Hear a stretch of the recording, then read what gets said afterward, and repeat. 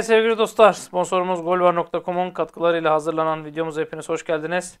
Safalar getirdiniz. İlginçlikler silsilesi, ilginç bir maç izliyoruz. Ama e, maçtan ziyade şimdi konuşacağım duyumlar, şimdi vereceğim haberler sizleri daha fazla etkileyecektir diye düşünüyorum. Öncelikle bir son dakika gelişmesi arkadaşlar.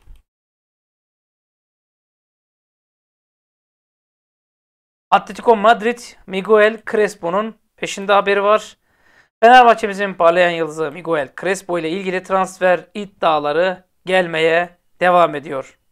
Ver kırmızıyı.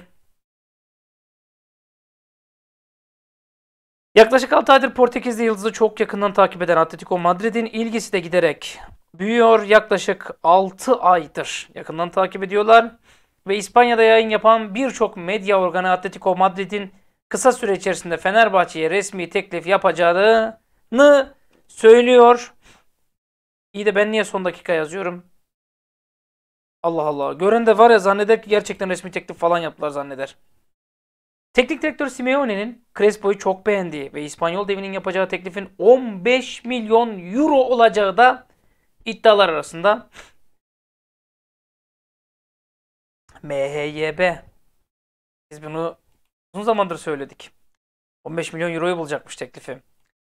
Fenerbahçe Başkanı Ali Koç daha önce yaptığı bir açıklamada Crespo için devre arasında çok ciddi bir teklif aldıklarını ve yıldız futbolcuyu satıp satmama konusunda ikilem yaşadıklarını belirtmişti. Yeni sezonda kuracağı iddialı kadro için kaynak oluşturmak zorunda ve Fenerbahçe yönetimi Crespo'ya gelecek 15 milyon euroyu zor geri çevirir diyor. Estoril'den 1,5 milyon euroya alınan isim eğer Fenerbahçe bu transferi gerçekleştirir ve söz konusu teklif gelir. Fenerbahçe'de evet derse yani bir yılda %900 kar mı oluyor? Yani kendi parası ana parada dahil %900 karla futbolcu satmış olacak. Ki e, eminim e, %15'te sonraki satıştan pay eklemişlerdir. 26 resmi maç 2 gol 3 asist. Ya hocam 2 gol 3 asist Allah'ına seversen hiçbir şey yapmamış. 26 maç ne? Fenerbahçe bu sezon işte 40 bilmem kaç maça çıktı. 50 maça çıktı. Doğru düzgün de oynamamış. 15 falan vermezler diyen arkadaşları duyar gibiyim. Bu lafınızı unutmayın. Tamam mı? Bu aşağıdaki son dakika boşuna değil. Neyse. Çok şey yapmasın. Cereyan yapıyor. Valla e, şunu belirteyim. Şunu belirteyim. Bazı duyumcular da diyor ki birçok Premier Lig ve La Liga kulübü birçok Premier Lig ve La Liga kulübü Fenerbahçe'nin Portekizli yıldızı Miguel Crespo ile ilgileniyor demiş. Ve Atletico Madrid kaynaklarından da doğrulattığım habere göre Atletico Madrid 15 milyon euroluk bir teklif hazırlamış. Artık teklifi hangi son dakikada sunarlarsa onların bileceği iş. Şimdi bir tarafta bu varken diğer tarafta Mesut Özil olayı. Bana 2-3 e, gündür üyeler de çok soruyor. Abone arkadaşlar sormuyor ama e, bu Mesut Özil olayına bir girelim. Şimdi Fenerbahçe'de Mesut Özil bir görüşme odasına alınacak. Şimdi bunun kaçarı yok.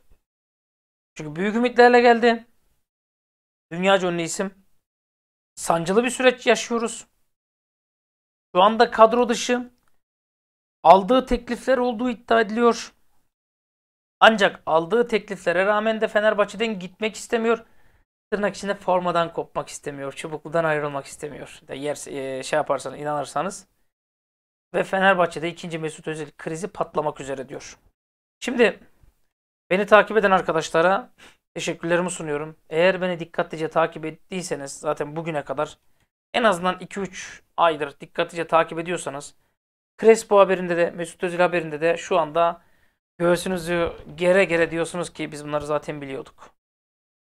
Şimdi gelişi gibi kadrosu bırakılması da sansasyonel oldu. 24 Mart, Mart'ta kadro dışı kaldı. Ve sezon sonunda sözleşmeyi bir şekilde bitirip göndermek istiyoruz ama onun gitmeye niyeti yokmuş. Menajeri Erkut Söğüt'le bir araya gelerek ayrılık şartlarını konuşmayı planlıyor demiş. Bazı kaynaklar da Erkut Söğüt'ün hiçbir yere gitmiyoruz dediğini iletiyorlar. Ancak süreç zor olacak diyor. Ben Mesut haberini verirken ikide birde niye inşallah ikinci Max Kruse olayını yaşamayız diye dua ediyormuşum. Şimdi anladınız mı arkadaşlar? Şimdi bana çamur atan arkadaşlar özellikle size söylüyorum. Özellikle size söylüyorum. Çamurunuzda boğuldunuz mu? Olmazsanız yakındır çamurunuzda boğulmanız. Ben onu uyarayım da. Valla Mesut vedaya hazır değil diyor ama ben bu işi inada bindirdiği görüşündeyim. 22'si 11 olmak üzere 26 maça çıkmış Mesut. 9 gol 2 asist yapmış. Takımın en skorer isimleri arasında yer almış. Ve 24 Mart'ta Ozan Tufan'la birlikte kadro dışı kalmış. Ve takımın ritmine ayak uyduramayan Mesut'un ipini çeken ise Konya maçında teknik direktör İsmail Kartal'a gösterdiği tepki olmuş. Şimdi ben şunu merak ediyorum. İsmail Kartal'ı mı kazandık? Mesut'u Ozan'ı mı kaybettik? Yoksa Mesut Ozan zaten kötüydü. İsmail Kartal kılıfı mı oldu? Çok ilginç şeyler. Ama ben size bir son dakika bilgisi vereyim arkadaşlar. Mesut Özil kolay kolay gitmek istemiyor. Ta ki Hull City ya da e, Başakşehir kulüpleri talip olursa ayrı ama zannetmiyorum. Ben Mesut'un da Ozan'ın da kolay kolay gideceğini düşünmüyorum. Umarım beni yanıltırlar. Umarım. Umarım. Yani iki sene daha Fenerbahçe'de top oynayacak. Biz sözleşmeyi bir sene için yapmadık demiş. Fenerbahçe'de Fenerbahçe'ye Fransa'dan stoper iddiası gelmiş arkadaşlar. Evet bir de Fransa'dan stoper almışız. Gün geçmiyor ki bir stoper daha almayalım. Valla en mantıklı iki tane stoper attığını ben dizdim ortaya. Bir tanesi Felipe'ydi. Felipe Lazio'daki. E, diğeri de o Haret Ortega'ydı. Alın size iki tane mantıklı transfer. Ötesi yok. İnanın ötesi yok. Ama daha uğraşıyorlar. Stoper iddiası kimmiş? Isaac Toure. Yok. İshak Toure. Aslında İshak diye okunması lazım. Çünkü İshak genelde Müslüman e, coğrafyasında bu isim. Fransa'nın sömürgelerinde bu isim verirler genelde. Gelecek sezon transfer çalışmaları Fenerbahçe iddialar arkası kesilmiyor. Yabancı kaynaklara göre Fenerbahçe Le Havre forması giyen biliyorsunuz Le Havre Diyarbakır takımıdır. Le Havre, Çani Spor, Başi Spor, Alo Spor Diyarbakır ekiplerinden Le Havre Lecan Lecan Lecan Le var bir de. Ee, onlar da şey halay çekerek oynuyorlar. Ee, Çavre Şam'ın Spor. Neyse Diyarbakır takımlarını saymayalım. Le Havre forması giyen genç stoper Süleymane İshak Ture ile ilgileniyormuş. Bak Süleymane İshak Ture kesin Müslüman. Yani en azından Müslüman ismi koymuşlar. Sonra da döndüyse bilmem. Şimdi Salah'ı, Kim Minji'yi yüksek bedelle satmak istiyoruz. Okey. Buna herhalde kimsenin itirazı, isyanı yok. Ancak bu ikisini yüksek ücretle satıp düşük bedelli oyuncu almak kumar ötesi kumar. Onu da belirteyim. Yabancı kaynaklar görüşüldüğünü belirtmiş ve görüşmelerin sürdüğünü belirtmiş arkadaşlar. İlk teması gerçekleştirmişiz. Görüşüyormuşuz ve görüşmeleri sürdürüyormuşuz. Öyle söylüyor. 19 yaşındaki futbolcunun boyu 2.04. Hemen hemen benimle aynı. Hava toplarında üstünlüğü var ve geleceğin yıldızı olarak gösteriliyor. Geçen yıl Le Havre'nin A takımına yükselmiş. Güncel piyasa değeri 1 milyon euro. 17 maçta gol asisti yok. 8'i ilk 11'de. 17 lig maçında 1043 dakika olması lazım. Sarı kartı yok. Şey 4 sarı kart görmüş. Hiç oyundan atılmamış. 6 kez Fransa U19'da forma giymiş. 2 asist. Ee, Fransa Lig 1 ekiplerine yakın ilgisi var diyor. Zor bir süreç ama bekleyip göreceğiz. Bana ulaşan bir şey yok. Fenerbahçe'de transfer gelişmesi 3 isim. Oğuzhan, İbrahim, Eser Yenenler. Portekiz basını Fenerbahçe'nin Haris Seferovic için ilk adımını attığını öne sürmüş. De Cruz transferinde de Fenerbahçe'nin en önemli kozu vatandaşı Rossi olacakmış. Şey gibi bu ya. E, Ertem Şener'in vardı ya. Diego Costa kesin Beşiktaş'ta. Şey yok. Ronaldinho da Fenerbahçe'de salı günü imzalar atılıyor. O da şu gün geliyor. Bu da bugün geliyor demiştim. Neyse De Cruz için vatandaşı Rossi olacakmış. Kasımpaşa'nın sol beki Eren Elmalı için ise e, girişimler sürüyormuş. Şimdi Eren Elmalı konusunda bir detay var. Onu aktaracağım. Bir kez daha aktarayım onu. Valla Eren Elmalı Fenerbahçe'de desem hani ya da Fenerbahçe'ye yakın desem herhalde yalan söylemiş olmam. Öyle bir detay. Detayın adı Novak. Biz Novak'ı istemiyoruz. Özellikle Beşiktaş maçındaki hal, hareketleri, hataları sonrasında kesinlikle istemiyoruz.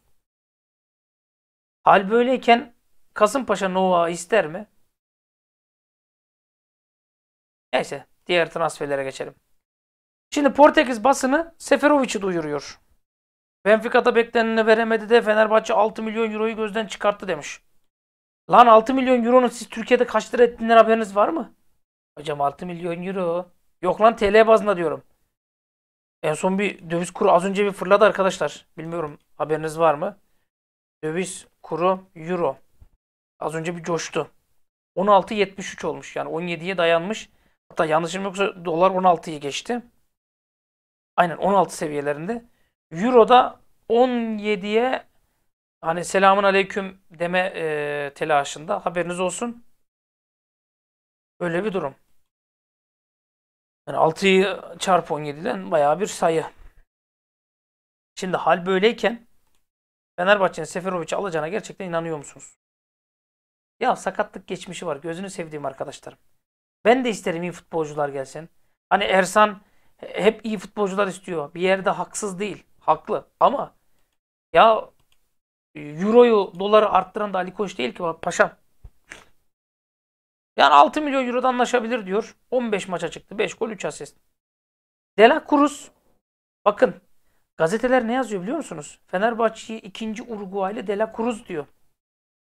Arjantin basını River Plate forması giyen orta saha oyuncusunu Fenerbahçe Soçya'da devrede biliyoruz. 31 Aralık'ta sözleşme bitiyor biliyoruz. Ama 1 Haziran'dan itibaren istediği takıma imza atabilecek not. Bunu yanlış anlamayın. Bu şöyle. Futbolcunun bağlı bulunduğu e, Futbol Federasyonu'nun yasalarına göre 1 Haziran'da Fenerbahçe'ye imza atabilir. Aralıkta başlamak şartıyla. Yani Aralık'ta Fenerbahçe'ye gelip başlamak şartıyla imza atabilir. O ülkenin yasaları bu şekilde. Bilginiz olsun. Ve şimdi 1 Haziran'da imza atabilirse hocam o zaman biz elden kaçırmayalım diyeceksiniz değil mi De La Cruz için? Ancak oyuncu 24 yaşında. Ve ee, 3-4 milyon euro bandına kurtulabiliriz. Cruz'un yerine bu Laude diyor. River Plate 2017'de transfer ettiği 24 yaşındaki futbolcunun kontratını 2021 yılı Şubat'ta uzatmıştı. 20 milyon euroluk serbest kalma maddesi eklemişti diyor. Ancak yıldız oyuncunun yeni sözleşmeye yanaşmaması nedeniyle Arjantin ekibi bu paranın daha altına satmaya hazırlanıyor. De La Cruz'un boşluğunu dolduracak ismi bile belirlemiş. Godoy Cruz'un 21 yaşındaki oyuncusu Ezequiel Bullaude'ymiş. Hemen bakalım. Aynı şeyi düşünüyoruz değil mi?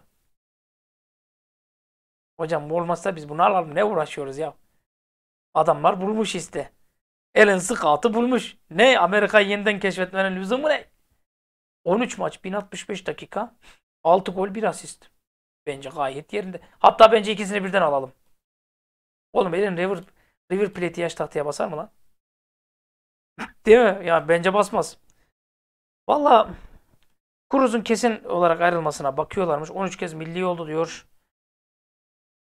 Şimdi sağ ayağını iyi kullanıyor. Çevik, teknik kapasitesi yüksek, mücadeleci bir oyuncu. E, Jesus Fenerbahçe'ye imza atarsa bu transferde vites arttırmak bekleniliyor demiş. De La Cruz Uruguay milli takımında görev yapıyor diyor. Valla ben oyuncunun e, şeyini izlemedim. Skills videosunu izlemedim. Ama en kısa sürede izleyeceğim inşallah. Onu izledikten sonra zaten fikrimi net olarak beyan edebilirim. Ama şu an için bir şey söylemek e, mantık dışı. Eren Elmalı için de şunu söyleyeyim. Eren Elmalı Fenerbahçeli arkadaşlar. İyi bir Fenerbahçeli kardeşimiz. Ve bu Eren kardeşimiz Fenerbahçe'ye gitmek istiyor. Ancak ekmek yediği kulübede ihanet etmek istemiyor tabii ki. Milli takıma kadar yükseldi. Stefan Kuntz yakın takip aldı. Ve e, Eren Elmalı için bugün sosyal medyada şey gördüm. Novak artı 3 milyon euro verecek Fenerbahçe diye. Ya Ozan Tufan artı 3 milyon euro diye duydum. Ozan Tufan artı 3 milyon euroyu veriyorsak kulübün rengini de mavi beyaz falan yapalım. Yani tam olsun. Yani olmuşken tam olsun. Böyle bir şey yok. Novak artı 1-1,5 milyon euro olabilir. Novak artı altyapıdaki gençlerden satın alma önceliği Fenerbahçe'de olacak şekilde bir isim. Mesela Serhat Ahmetoğlu. Novak artı 1 milyon euro olabilir. Bu dediğimi de unutmayın. Ver son dakikayı. Bu dediğimi asla unutmayın. Benden tavsiye. Ve Fenerbahçe Kim Min-ji'nin alternatifini buldu diyor. Lan az önce bulduk ya. yok bir tane daha bulmuşuz. Kim Min-ji değerini bulması durumda satışa değerini bulması değil. İmza sözleşme fesih bedelini bulması durumda satışına mecburen izin verilecek anlaşırsa. Ve Guimarães'in yükselen yıldızı Abdülmumin için ilk temas gerçekleşmiş. Şimdi ben bir şey söyleyeyim mi? Abdülmumin ne güzel bir isim. Guimarães'in yükselen yıldızı. Guimarães Portekiz değil mi? Eskiden bilirdim ya. Vitoria Guimarães tamam Portekiz. 3 milyon euro piyasa değeri var. 23 yaşında. 1.88'lik stoper. Gana milli takımda oynamamış ama Ganalı. Ee, seçilmiş ama oynamamış herhalde. Çağırmışlar. Nijerya asıllı Ganalı. Ha, ırkçılık yapmışlar. Sağ ayaklı. Şu an yani 29 maça çıkmış. 2498 dakika süre almış. İyi bir scout. Yani sosyal medyadan iyi bulmuşlar. Kimin yine sürpriz isim diyor. Şimdi Tottenham istiyor, başkaları istiyor, Roma istiyor, öbürü istiyor. Hani e, 23 milyon euroya giderse diyor. Bu arada ayrılmasını beklememe kararı aldı diyor. Yani Kim Min gitsin gitmesin. Kusura bakmayın. Fenerbahçe bir şeyler yapma peşinde diyor. Temas kuruldu. Bak bununla da temas kurmuşuz. 2024 Haziran'a kadar sözleşmesi var. Hocam amma yalan söylüyor. Yok öyle değil. Gerçekten temas kurulabiliyor. Şimdi arkadaşlar markete girdiğiniz zaman bir şey almanıza gerek var mı? Yok. Gezinebilirsiniz. Çalmadığınız müddetçe.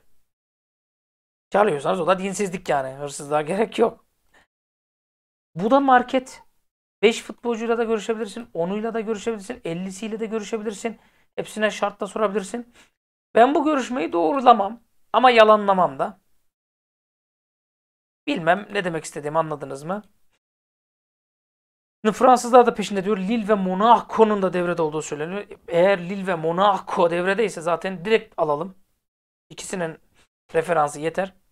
Portekiz Ligi'nin en iyileri arasında. İşte önemli kısım burası. Bu sezon üstün performans gösterdi. Ligin en iyi stoperler arasında. Ee, değerine değer katladı. Piyasa değeri 6 milyon euro olduğu civarında olduğu belirtiliyor demiş. Haberi yapan arkadaşlar. Etmeyin, eylemeyin. İnsan yalan haber bile sunsa bir araştırır. Orada 3 milyon euro yazıyor. Deyin ki satışı için 6 milyon euro istiyorlar deyin. Ben de diyeyim ki olabilir diyeyim. Ben bu e, şeyle ilgili de bir şey söyleyeceğim. 1959'dan öncesi. Gelin şöyle bir şey yapalım. Madem 1959 öncesi sayılmıyor. Birileri sayılmasın istiyor. Beşiktaş'ın 1959 öncesi iki şampiyonluğunu da çıkartalım. Bugüne kadar haksız yere aldığı yayın gelirindeki paraları isteyelim. Ali Koç'a hodri meydan. Beşiktaş'ı yanına çekmen için, onların da baskı yapması için al sana fırsat. Gitti ki 59 öncesini siz saydırdınız. Madem bizimki sayılmıyor, sizinki de sayılmayacak kardeşim. Siz bugüne kadar aldığınız parayı eşit miktarda verin. Galatasaray'a da, Fenerbahçe'de, Trabzon'a da verin. Çünkü yıldızlı sistemde eski şampiyonluklara göre para alındı. Bu bir. İki. Ya da 1980 öncesi sayılmasın. Sonuçta darbe marbe yapıldı. 80-82 anayasası falan değişti. Anayasadan öncesi kabul edilmesin. O zamanlar köy takımı gibi oynuyordunuz falan denilsin. Ya da 1990'dan sonra sayılmasın 15 Temmuz'a kadar. Malum süreç. Vallahi bu sayılmasın bence. 90 15 Temmuz'dan 90'dan 15 Temmuz'a kadar sayılmasın. Şimdi de baz alalım. Bu sene. Yok lan Trabzon'unki dursun. Bak Trabzon'unki dursun diyelim Trabzonsporlular kabul ederler. Bu sene dursun öbürleri sayılmasın desek. Al. Yanına Fenerbahçe Trabzon'u çekti. Hani diyorsunuz ya siyasetin takımı falan filan. Al siyaseti de çekmiş oldun yanına. Düz mantık gidiyorum sizin dediğinize göre. Değil mi? Madem ülkede bir şeylerin ee, yani.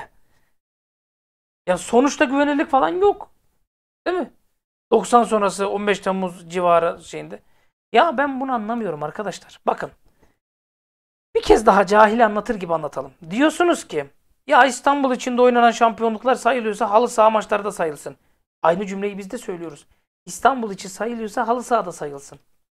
Biz İstanbul içi sayılsın demiyoruz ki. Türkiye şampiyonlukları. Olmaz hocam öyle. 3 tane takım katılmış. An Alma şey 3 tane şehirden takım katılmış. Arkadaşım farkında mısın? 19 tane takım olacak bu sene ligde. 7 tanesi İstanbul. Şu an için. Belki 8'i olacak. 8'i İstanbul olsa, seneye bir takım düşecek olsa, bir, bir İstanbul takımı daha gelecek olsa yarısı İstanbul. Sayılmasın diyebilir misin? Arkadaş, federasyon düzenliyor. Fenerbahçe'nin istediği bu. Ha, Galatasaray'a söz verilmiş. Bak dikkat edin. Yavaş yavaş her şey ortaya çıkıyor. Çıkması da lazım. Valla işler akıl almaz bir boyuta gidiyor. Herkesin dikkat etmesi gereken yere doğru gidiyor. Ben şahsım adına dikkat ediyorum. Siz de dikkat edin. Özellikle sosyal medyadaki bazı arkadaşlar e, size benden küçük bir uyarı. Hani diyorsunuz ya ben anonim hesabım beni bulamazlar diye. Anonim hesabınızın e, her şeyini bulurlar. Siz yeter ki bazı sinir uçlarına dokunun. E, neler, neler, nelerden nelerinizi bulurlar. Benden uyarması. Dikkat edin. Özellikle şu dönemde dikkat edin. Yani şu aralar işte çok fazla değişik mesajlar ve provokatif hareketler var. Dikkat etmenizde fayda var arkadaşlar. Ben bu kadar söyleyeyim. Siz gerekeni anlayın. Kendinize iyi bakın. Allah'a emanet olun. Kısaca özetleyelim bir daha söyleyeyim. Eren Elmalı ciddi görüşmeler var. Takas ihtimali yüksek. Bakalım neler olacak. Abdülmumin ilk defa duyuyorum. Bana kalırsa Haret Ortega, Malanksar e, belki ismini söyleyebilirim. Malanksar ismi daha mantıklı geliyor bana. Hani alınır diye demiyorum ama Ortega ismi bedava zaten. Malanksar ismi de bence uğraşılması gereken isim. Onu söyleyeyim. Crespo için 15 teklif zaten aylardır söylediğimiz bu teklif gelecek diye. Satılmasını istiyoruz ama çok zor. Yani 23 kime? 15 Crespo'ya. 15 Osayi'ye verirse 53 milyon euro yapmayın etmeyin ya. Yani tarihi bir başarı ya. Tarihi bir başarı. Belki Galatasaray'ın Beşiktaş'ın son 5 yılda 10 yılda sattığı futbolcu fiyatını sen 1 yılda almış olacaksın. Neyse. Seferovic'i ben beklemiyorum. De Cruz için vallahi inşallah Fenerbahçe bu sefer hata yapmaz. Rossi Rossi De Cruz'u getirsin kendi 12-15'e gitsin. Novak dediğimiz gibi e, şey. Mesut'un ben devam edeceğini düşünüyorum. Ee, Ezekiel Bulladoe Bullado hem De La Cruz hem bu adamı alalım. Bak River Plate boşu adam almaz. Başkası Ozan Tufan'da devam eder gibi duruyor. Benim bildiğim Jesus Ozan'ı da kullanır. Ha, Mesut'u kullanır mı? Soru işareti. Salah Kim Minji olayında da konuştuk arkadaşlar. Kendinize iyi bakın. Allah'a emanet olun. Bir beğeniyi çok görmezseniz sevinirim. Görüşmek üzere.